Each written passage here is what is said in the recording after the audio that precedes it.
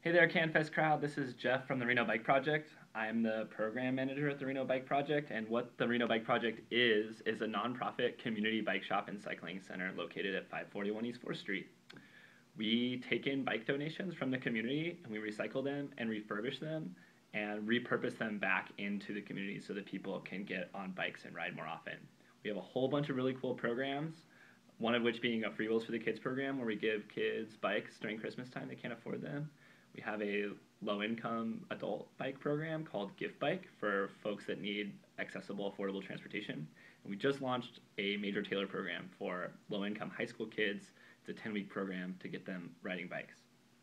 We have public workstations in our bike shop where you can come in and use our tools and fix your own bike and learn how. And we also have education classes that are open to the public two times a week, and you can see all that stuff on our website at renobikeproject.com. We have been chosen as the nonprofit beneficiary for CanFest, and CanFest, if you don't know by now, is the largest can beer festival in the whole United States, and it happens right here in Reno.